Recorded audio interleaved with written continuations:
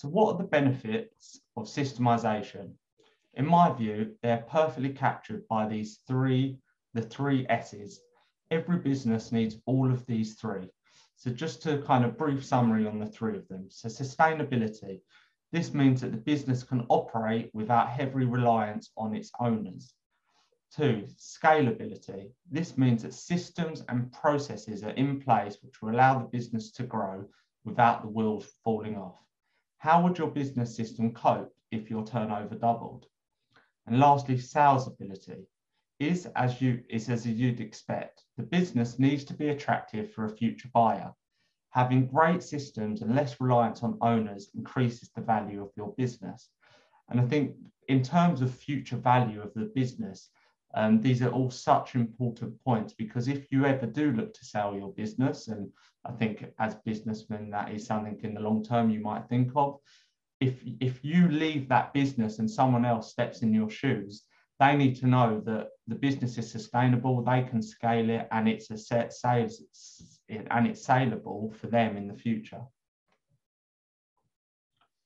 So putting that in the context of, of today's webinar, there are four components of an app stack, which we're just going to touch on briefly. So firstly, you, you, you might all have custom existing apps or pre-built apps, um, even kind of spreadsheets, which us as accountants always love with complex formulas, tables that all connect to each other. And these are all software tools in a business. However, how the information is passed between these systems is also part of the stack.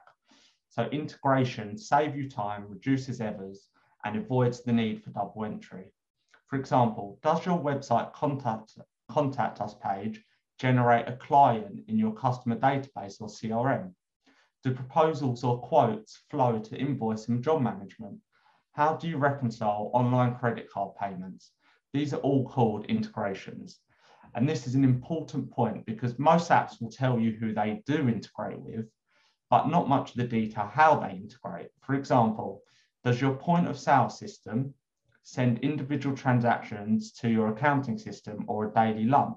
So if you're using Xero, for example, does it send individual sales per day or will it send it as a monthly lump or as a weekly lump? And these are all very important. The third piece of the stack puzzle is the platform the apps or systems are running on. So do you have in-house equipment? Is it outsourced? Is it in the cloud? If this sounds kind of like you're not sure what you're talking about, obviously, please speak to someone um, because th these are really important things when you're looking to, to move into the cloud and move things digital. Um, the last piece, and this is a crucial piece, is how, you back, how you back up your data and ensure customer information is secure. I think the global pandemic has taught all of us many things, and one of one of these is is how important it is to keep your data safe and accessible from any location. Um, there's also strict privacy legislation being introduced around the world. So you really need to make sure where your data is and if there is a backup. We're also seeing a lot of hacks at the moment um, and people asking for, for money to, to kind of release your data. Um, so it, these are kind of getting, yeah, getting more and more regular. So why is your app stack worthy of all this attention? So systems and processes are essential for growth in your business. As your business grows, bottlenecks appear. Technology and improved systems really help with these bottlenecks. And high growth businesses have these systems in place to handle kind of to handle the growth as expected by your marketing plans. For example, the increase customer projects and or sales volumes manual systems don't just won't cut cut this. So your te technology stack has an impact on profitability. A bad stack can reduce your profitability by kind of costing you your sales due to lack of sales processes or increasing your costs due to wasted time or tasks being done in the wrong order or your inability to just manage that process. Um, so good data is critical to making good business decisions. And your system needs to provide you with accurate timely data so you can make good business decisions, like whether projects are profitable or a specific product is making you money. The more up to date and accurate the data is, the better your decision will be. The technology stack can help increase your team efficiency and customer satisfaction.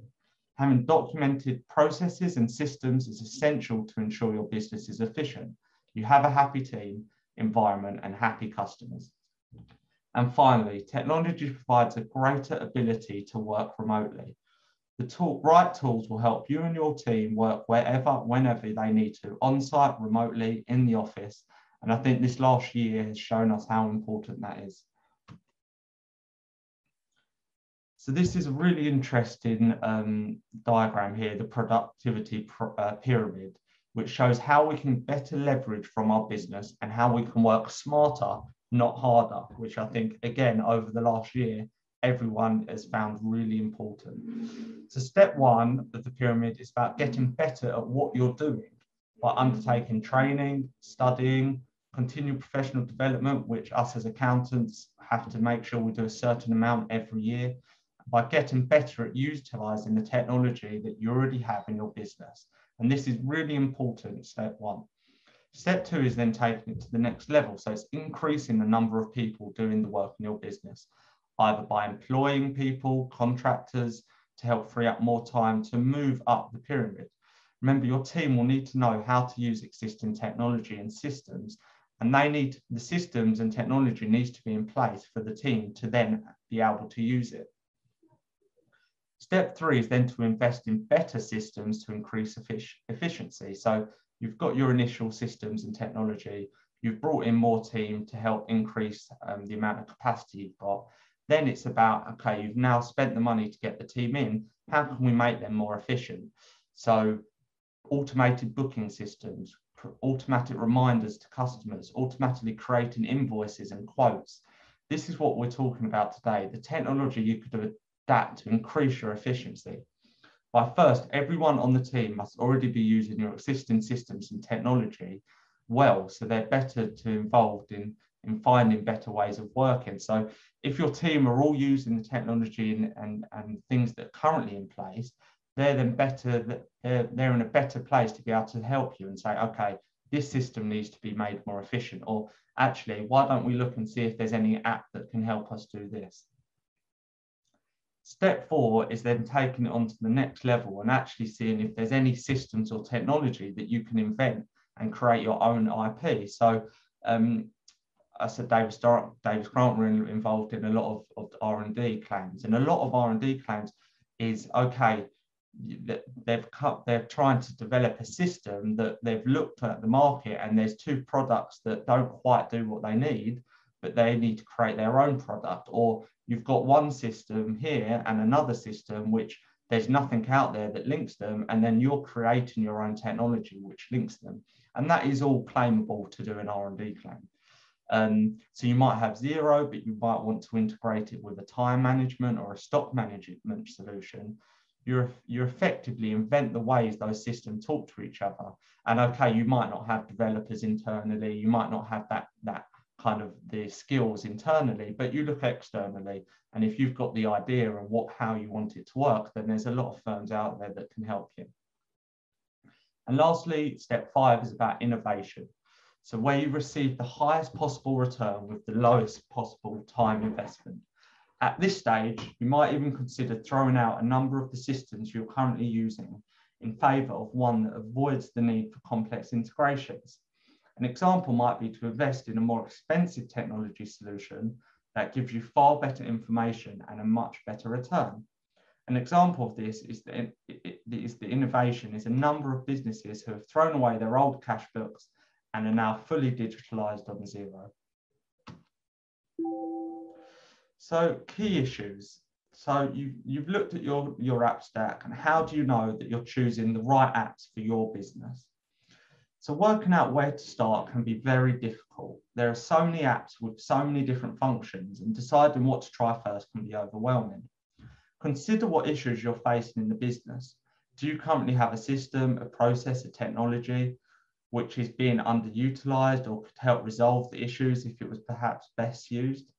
For some issues, perhaps training is what required and not technology perhaps the team just just don't have those skills to use the technology that you've already got in place so You might have an unbelievable till system that, that can do so many different things and can help automate lots of, of different tasks. But your staff and even yourself just might not have had that training to be able to use the till system. When you prioritize these issues in your business, which you don't currently have a solution for, it's time to undertake research on the most suitable technology. Find out what apps are available, reviewing them and comparing them can suck up hours of time and might be better actually spending that time looking for customers and helping the business grow. For example, Xero, which I know I've, I've mentioned a few times, but us at Davis Grant, we, we're kind of, we love Xero and we're, we're big users of it. They have over 800 apps in their marketplace and there's thousands of apps globally. So it can get quite confusing as to what to use. So how do you make sure these apps you choose deliver the functionality?